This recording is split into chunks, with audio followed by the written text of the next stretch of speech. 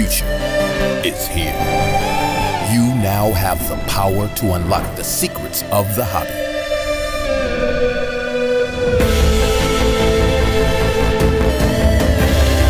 An innovation that will change the way the industry works. The game changer is here. Card Ladder.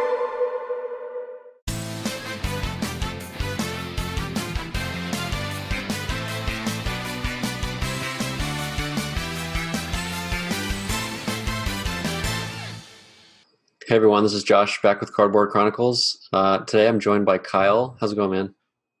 Hey, how's it going, Josh? How are you? So Kyle is a collector that we've I've been chatting with him on Instagram for a few months now, almost like a year, and uh, we've been grabbing cards, buying stuff together, and had a good time chatting. So I thought I'd bring him on for an interview. So why don't you kick us off, Kyle, and just tell us about yourself and your background in the hobby? Um, I uh, got into the hobby as a uh, very young kid, and I um, started to buy when I was very little. I went to my local card shop, and then I kind of got out of it for at least I don't know, maybe three, four, five years. And I recently picked it up at the start of the new year.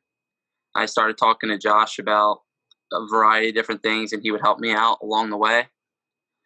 I've been recently buying like some football and basketball they're my main sports.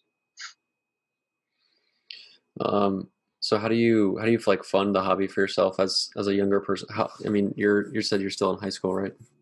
Yeah, I'm still in high school. I'm a senior, and um, the way I fund my uh, collection is I just pretty much I do a lot of flipping over cards into bigger cards and then into more and more higher end cards, and I I most of the money that I make I uh, try to fund it into the hobby and the my uh, collection, and I just keep turning it over and turning it over, and then I can take that money back out and use it for like my gas, my school supplies, all that variety of different things. Is there anything that you collect or things that you want to kind of hold on to long term, or is it all just kind of like flipping and, and investing to trying to make more money? Um, I'm a big Cowboys fan, so I collect a lot of uh, Dak Prescott and uh, a little bit of Ezekiel Elliott, but he's kind of let me down this year. You'd probably be able to get the Dak Prescott stuff pretty cheap right now. Right now, uh, Dak actually gone down probably like fifty percent since his injury. I'm gonna probably start stashing up some bigger and uh, higher end items of him because I mean I, I like him a lot. I think he's uh, the future of the Cowboys. Yeah, so talk more about like having to fund yourself in the hobby because a lot of guys that I talk to, you know, it's like buying PC cards and you know, we have like more income to kind of be able to do that. But as someone that doesn't have like a full time job yet, talk about just like what you have to do as someone to, to almost like survive in the hobby and to keep moving forward. So mainly I'll like I look for like parts of the hobby that seem kind of like undervalued per se.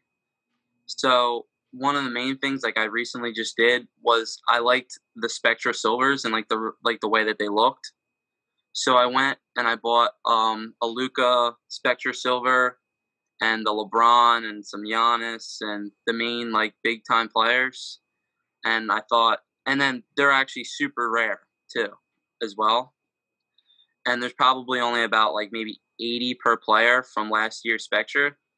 So I went and graded all of mine up and I probably was into them for maybe like I don't know a thousand, and I just flipped them over into like five seven thousand dollars because I went and graded the Luka and it got a ten, and the Spectra cards have like a they're like a fixed card stock, so you have to really find a part of the hobby that you don't like no one's really on and no one's talking about and that's like the way that I sort of work I also did it with like some status cards. Like I remember you were buying some status, and uh, I bought some up of them, and then I moved them, moved some of them, kept like some of the big LeBrons, kept some of the Giannis, kept the Luka, like.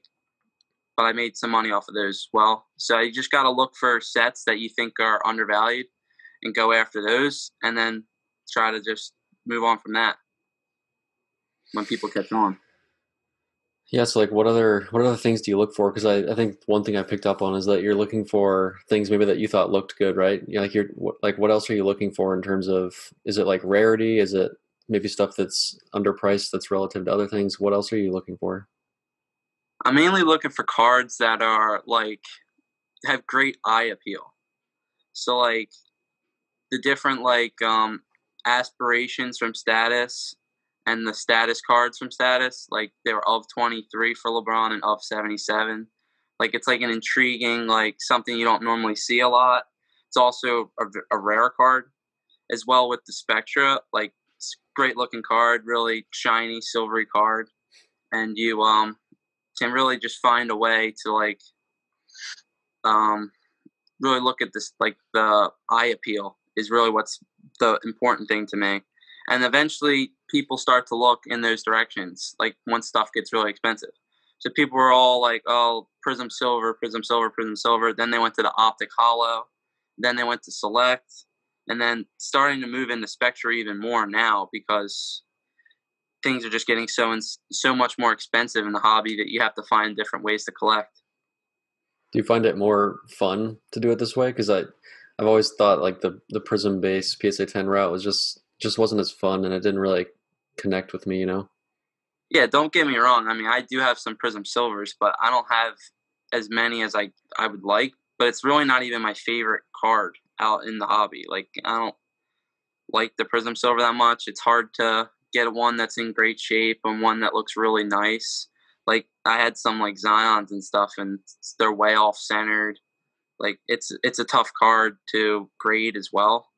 So I like to go for stuff that I I know there's like not that many of, and like it's pretty well produced because they limit down the amount of boxes that came out, and it just seems like a safe thing. Yeah.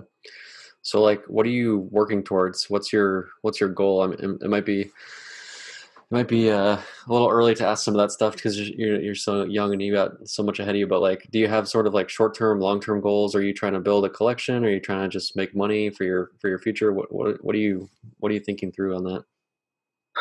Right now, I'm trying to build up my like collection of like players that I think are going to be like more of an iconic era. Like right now, I like a lot of the players that around, like LeBron, Luka, Giannis, they're all great players. They're all like people that I think that are going to be remembered down the line. And there's also a lot of people in this hobby now that are probably thinking the same way. So I want to try to build up my collection and build up my cash flow so that I'm able to afford some of the bigger cards of those players. And what's That's the goal after that? When you when you get the bigger cards, then what? After that, I mean, I want to eventually get a house. I think that's pretty important at my age to like start thinking about the future and what what my uh, adulthood's going to be like. Yeah, I mean you're you're way ahead of the game, dude. Like, I mean you're basically like a you know an entrepreneur at this point. Do you do you think of yourself that way? I mean, sometimes I start to think of it that way, but also at the same time, I like to have a lot of fun in this hobby. Like, I'm not just worried about all the money and all like building up and just super like looking straight ahead all the time. Like I like to have fun with some of the other guys on here and be uh talk and collect and chat about sports and all. I think it's a good time.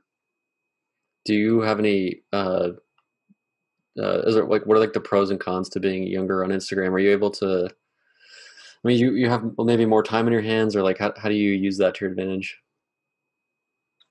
Um, I would say like initially, I'm not like trying to like come off as like a like super young kid because like a lot of the times like I don't think I'll be taken seriously for like oh I want like this huge trying to buy make a big deal and like they're like oh well you're only like 16 years old you're 17 years old.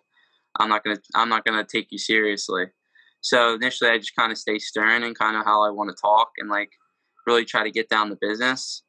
That's probably like a con because I I can't really be myself to everyone but like the pros are that like I do have more time per se. Like I do have schoolwork to do, so that does cut out some of the time. But I can hang out on, on uh, Instagram at night, watch some lives, and scroll through my feed and check out new stuff on eBay like everyone else.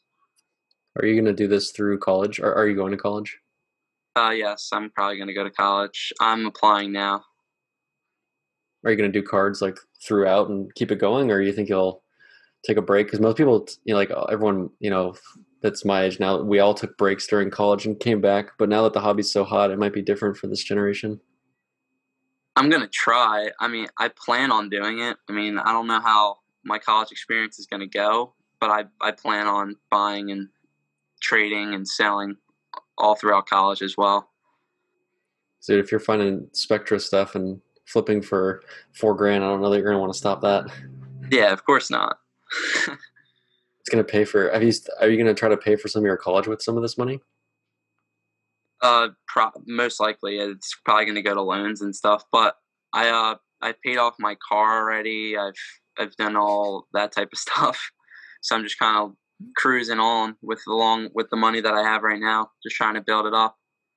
What do your parents think about it? My parents think that it's great that I can have like a business this young and just kind of keep working and keep my mindset on something and not like falter down like some kids get into like drugs and alcohol and stuff like that. Yeah, because I think there's a lot of younger people that would watch this and, and would want to like glean some advice from you. So like, what what kind of advice would you give to maybe some of the younger people out there that are trying to get? Because cards is like a pretty the entry is pretty simple. You know, it's like anyone can get in and get going on it. It's not something you need like uh, a ton of life experience to do. So it's kind of a, a nice thing. So like, what what would you say to some of the younger people out there that are trying to get started? I would say to some of the younger kids, like you don't need a lot of money to start. You right away, like just start getting into looking, like looking for cards that you like, like have the appeal to you. Like that's the most important thing. And normally those types those types of cards end up holding value later on because people like the way that they look it's not all about like the hype beast and like oh I have a PSA 10 luka rookie like okay like look for stuff that you think is appealing and not everything's super expensive like not everything is thousands and thousands of dollars like there's cards out there five and ten dollars that you can just buy and grade up and just keep grading and flipping it's like an easy way to just build up capital and start really rolling in the hobby so did you start basically from zero Pretty much, yeah. Because I mean, that's most people would say like, oh, maybe maybe some of these kids get started from their parents' money or something. But I know a lot of guys like yourself that just literally just start from nothing. Yeah, I started with about like I don't know, like five hundred dollars, and I probably have like ten grand in cards now on hand. Not too bad. I mean, there's like a lot of grown adults that would struggle to do that. Probably because they're buying the wrong things. Actually, that's a pretty interesting topic, right? Like I've talked about it with you before, uh, and I've I've tried to like give you that life advice, like don't buy a car, you know, don't buy like a fancy car, um, because it's just it's like the depreciating assets versus you know cards where they're actually appreciating. Uh, what what do you think about that? Well, you don't need all like these lavish things to live. Like I'm only young, so I live with my parents, but a lot of people out there would just go and buy like I don't know a new TV or a new car or play uh, buy new Xbox games and do all that type of stuff. Like I know it's for entertainment and all, but do you really need that stuff? Like you can throw it into like a, a big a nice LeBron card or something the next five times. Like it's just yeah something you can do to make money and then you can afford that stuff down the line yeah i mean really all you need in this in this era is like a phone you know? Like you can have your own business just in your pocket on a phone and as long as you have like a decent phone with internet like what else do you really need you know? Exactly. Um, what do your what do your friends think? Like some people your your age at school like do you try to get them into it? Are they interested in the money side of it? Like what do they say about it? I mean, kids in school, like, they're more interested in, like, you know, like the Supreme and, like, all that type of, like, fashion stuff. And I'm like, I don't know why you would spend money on that type of stuff when, I mean, I get the flipping aspect, but, like, the kids just buying it to wear it, it is just, like, it's a money pit. Like, stuff is, like, hundreds and hundreds of dollars and thousands of dollars, and you're just gonna wear it once and then sell it used for seventy for seventy five percent off. Yeah. Do any of them? Have you gotten anyone into collecting? I've gotten one of my friends to like start buying some cards and stuff. He's done pretty well actually. He's probably made like double what he put in. So he kind of does the same thing as me. I give him some tips on what to buy and what to look for. What's your advice on Instagram? Because I feel like Instagram is kind of the the great equalizer, right? It gives you a platform to to kind of do your thing. How have you gone about Instagram? So pretty much on Instagram, if I have a question, like I just shoot it to someone. Like I'm not look like I don't care who it is. Like maybe they'll get back to me, maybe not. Like the when I first got on there, I didn't have any posts, and I messaged you like, and you still answered me. Like I was like, uh, "What do you think about certain cards or whatever?" And you helped me out right away. Like just reach out to the many different people on here. Like they're gonna help you out. Like no one's like selfish and like, "Oh, I'm not helping you." Yeah, I would add though, I get quite a bit of DMs. The reason I responded was like you brought me some like upfront research. So talk about that. Well, if you're gonna ask a question, at least have like some substance to it. Like there's not a lot like, oh, what do you think of a Luka Doncic rookie card? Like, what do you think about them? Like, there's plenty of Luka Doncic rookie cards out there. Like, which which one? like, bring bring the person that you're asking the question something of knowledge and can actually give insight about something that you might think is interesting or intriguing or something that they might want to buy per se. So, like the the status thing, talk about the research you did up front because I think a lot of people are in the same boat of like because I get I get the question of like what's the best luka rookie card to buy right now, and it's a pretty like vague question as opposed to like the research you did on status. So like just walk me through the specific research of it. So initially up front, I was watching one of your videos and I heard you talking with one of the guests on here about galactics. And I was like, oh, this is interesting. This is like an SSP, super short print, like probably 20 of them, 10 of them out there. I wonder if there's any more out there of that like of that type of set that has like a bunch of guys in it and they're super rare cards. So I just go on eBay real quick. I just type in SSP card, search for basketball cards only. Start looking through, and I notice the status pursuit case hits. And I go, okay, and I just type in status pursuit case hits. Then I notice that all of them, there's every player, like every player in the league. Like there's, I don't know, like any random guy you could possibly think of, including the stars. So from that, I went on to Blowout and I looked up status cards, like the status uh, brand. And it said that the pursuits were case hits, that you were only, they weren't guaranteed in anything, and they weren't going to be like super easy to hit. So from that, I went and looked at the checklist, and there's a hundred guys for the base set, then there's 50 rookies. So that's 150 cards, and there's case hits. So that would mean that there's for the exact player that you want, it would take one in 150 cases. So that's like a really really rare card because there's probably what 20 bucks 20 boxes in a in a case. So that's a lot of boxes, 3000 or something.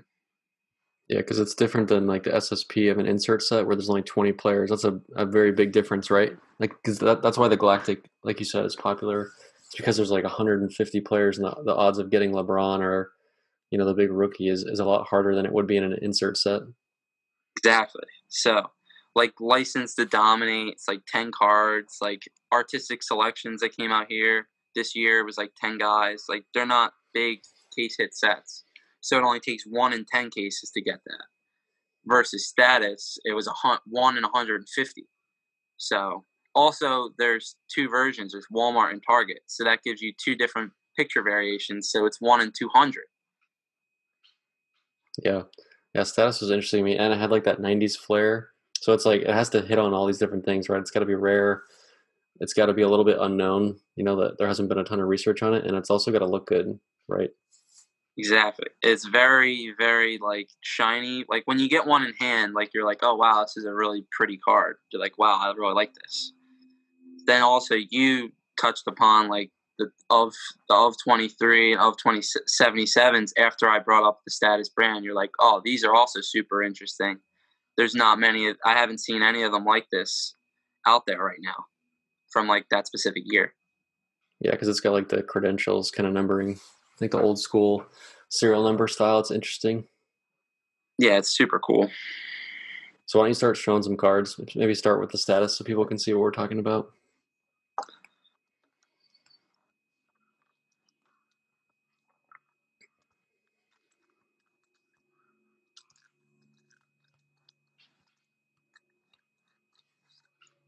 So uh, here's a, a Devin Booker Pursuit die cut. So the die cuts are actually super hard to grade as well because of all the edges. So it also makes them pretty appealing. Like Galactics are like super foily. Then I have a Giannis one with me here today.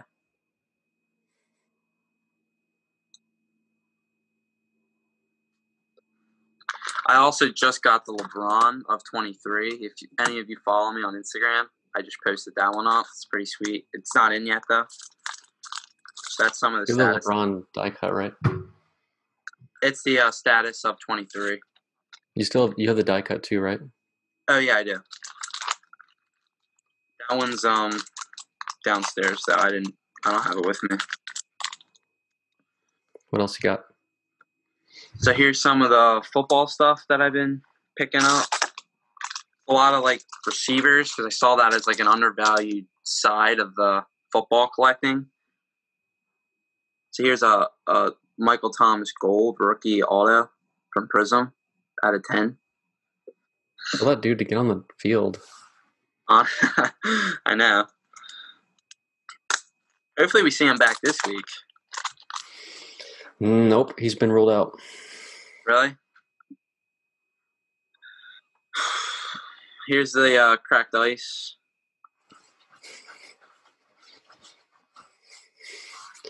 Yeah, so we've started buying some of the football stuff at the same time, which is fun. Like it's fun to find like a new lane, right, and also like have someone to go out and buy stuff with. It's fun. I I agree. I think that like DeAndre Hopkins, for example, it's like the reason like the Cardinals are good on offense is one of the big reasons is because of DeAndre Hopkins and like his cards are one percent of Kyler Murray's cards. Like it just makes sense to me. Like I don't know, like just something that made a lot of sense at the time. Like uh, I could buy a a Hopkins Chrome rookie card for twenty bucks, and Kyler's would be like eight hundred. Like I don't know, it's just something that made sense. And yeah, I think it's it's interesting because like when you have a decent amount of money you sort of just like you just buy the best you don't really think about it. But when you don't have as much money you're sort of forced into like getting creative and like thinking more critically right?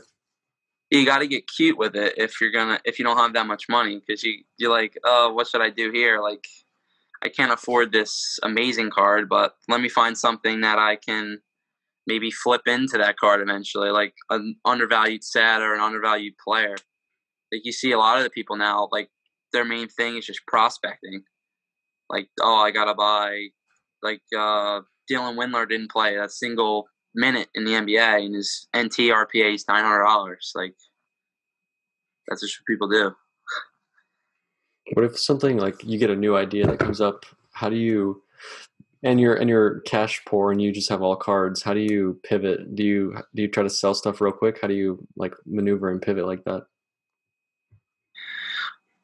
I mean, I normally have a little bit of cash, but if I have to start moving stuff because I like want to move it into something else, I gotta just sell some cards off. Normally, I'll I'll just sell some stuff that I would be okay with parting with, and I hopefully it's not too rare, so I might be able to buy it back later. Yeah, yeah, it's smart to at least have like if you're if you have zero cash to at least sell something kind of uh, in anticipation of something else coming up that you might need. So like it's it's always smart to have some cash on hand at all times. I agree. I sometimes have to move some stuff that I I rather keep, but when you think of something new and you really think it's going to be a big thing, then you got to just go for it. Yeah, totally. All right, Kyle, this has been good. Do you have any any final thoughts? Any last minute words of wisdom for our audience? For all the younger people out there, I would say just hop into cards and start asking people different things and really present the person that you're asking a question to with some knowledge and some insight that they can really help you out and really you can end up making a friendship out of it. And for some of the older people out there, you don't always have to buy the best card. You could also buy something that you think is going to be an upcoming set or an upcoming player per se, and that could end up rolling you into or be an amazing card someday because you thought it was great in the early stages. Yeah, I love that perspective, man. Appreciate you coming on and uh, giving us something new to think about. So I appreciate it. Uh, we'll, we'll talk soon. All right. All right. Thanks. Thanks for having me.